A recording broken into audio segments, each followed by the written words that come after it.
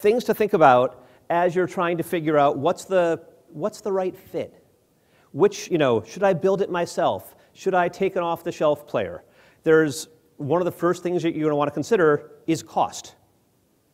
There is a widely divergent cost on the off the shelf players from totally free with a permissive open source license to not even close to free. And if you're not you know, a multi billion dollar company, you may not even want to think about it.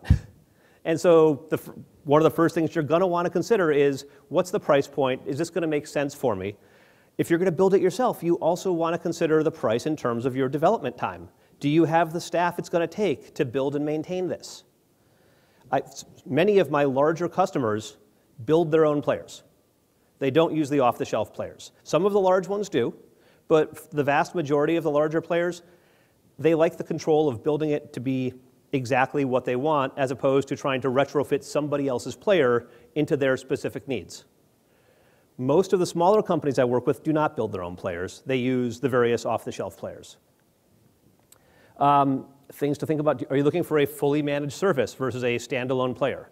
Do you want something that's going to provide a whole digital asset management service where it manages your content and it does your transcoding and it does all of that for you? Or do you simply want something to play back some video files that you have?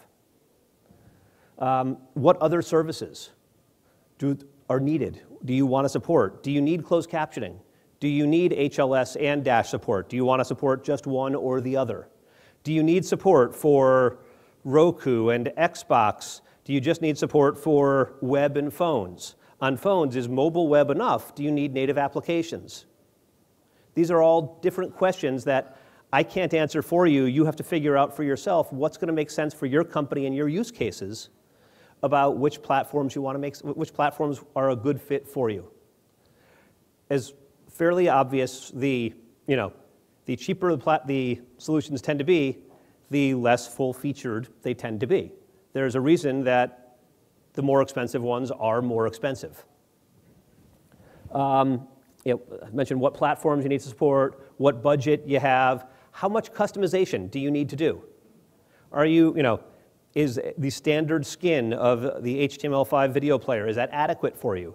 Do you want to have high, a lot of customization around the look and feel of the player? Do you want to have customization over the adaptive bitrate algorithms that you use?